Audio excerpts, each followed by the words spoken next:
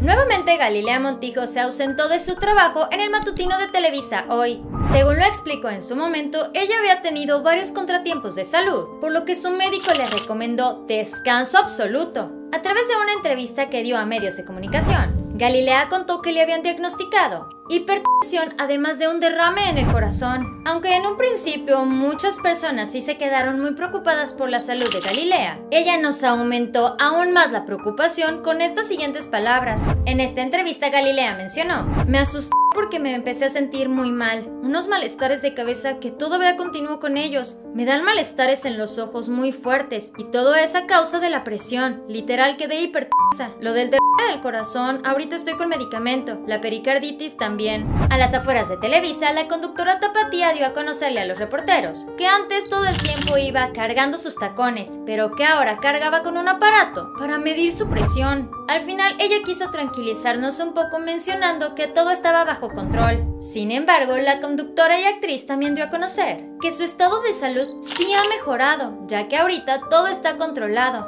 Durante un evento que se realizó en la Ciudad de México, Galilea Montijo también aseguró, todo bien, gracias a Dios, todo controlado. Ahorita me escuchan un poquito mormada porque me acabo de vacunar contra la influenza y sí me dio un poquito, pero todo bien, nada más es un pequeño catarrito, nada más. Lo del corazón y la hipertensión ya está controlado. Galilea Montijo le quiso dar a conocer a los reporteros, al igual que a su público que tanto la quiere, que parte de su recuperación es ahora hacer más ejercicio. Esto lo debe de hacer para mejorar su condición. Ella comentó que de verdad sí se preocupó bastante porque en un momento los médicos le dijeron que no debía de hacer absolutamente nada, casi casi que únicamente podía pararse para ir al baño. Esto por supuesto a ella la dejó en shock, porque además de estar trabajando todos los días, ella mencionó que su trabajo más importante es el ser mamá. Ella no puede dejar desatendido a su hijo nada más porque así se lo indican. Sobre este tema, la guapa tapatía mencionó, desde que soy mamá he pensado en cuidarme por cuestión de durarle más a los hijos. Yo siempre lo he pensado así, pero no pararé. Al contrario, me ayuda muchísimo hacer ejercicio, entonces ya lo retomé y sigo haciéndolo. Por si esto no fuera suficiente, por aquí y por allá se ha mencionado que Galilea Montijo y su esposo, Fernando Reina, están a nada del divorcio. Las dudas aumentaron cuando la presentadora acudió al evento de Heku Hombres del año 2021 completamente sola. El esposo de Galilea por supuesto que no fue,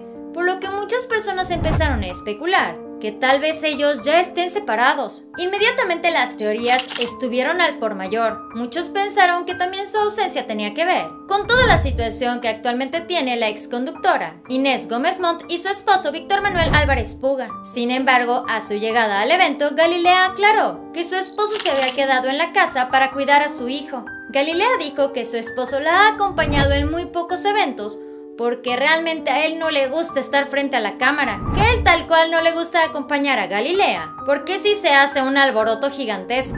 Esto fue Famosos de cerca, dale like a este video, suscríbete y síguenos en Facebook. Espero que tengas un excelente día, nos vemos muy pronto, bye.